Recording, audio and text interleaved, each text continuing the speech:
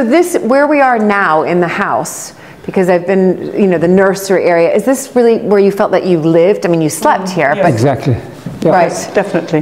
Down we this were all pretty well in this passage, Right. either just down the bottom there or where we were earlier. Or round to our Or- parents' or- rooms. yeah. was the other. right. So mm. it was just this part, mm. yeah. No, Well, it's so so much. fast. Uh, But we, were, we just had a separate life up here. I used to like getting up very early in the morning and just walking around the exterior of the house and saying hello to one or two of the, the carpenter or the chauffeur